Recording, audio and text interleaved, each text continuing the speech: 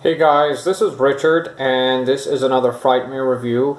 Uh, I hope everyone's been doing really groovy. Um, I wanted to do a quick review on uh, this movie Basket Case. Now, this is an old, really weird, scary sci-fi movie uh, made in the 70s by that guy David Cronenberg. He's a guy that did all those weird sci-fi movies back in the day, like Alien and stuff. And um, this movie is no exception. It's pretty weird.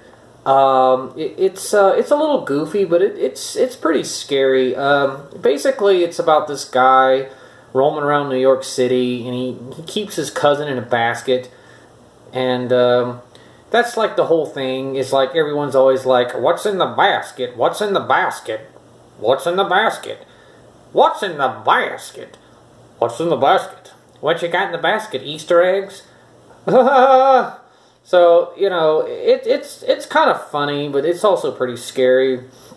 Um, I think one of my favorite parts in this movie is like at the at the motel that the guy's staying at. There's this like drunk dude. He's like always drinking, and I think the best part is when he's like, "All alone in this cold, cruel world."